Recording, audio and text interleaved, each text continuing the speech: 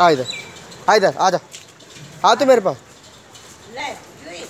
जोई आ इधर आ इधर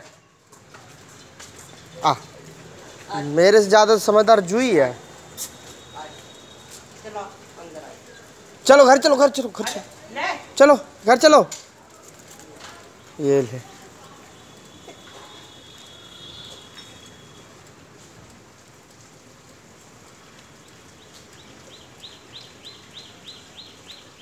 आ इधर। ये बाबा, इतना गंदा हो गया है। अब गाड़ी में नहीं बैठाऊँगा तेरे को।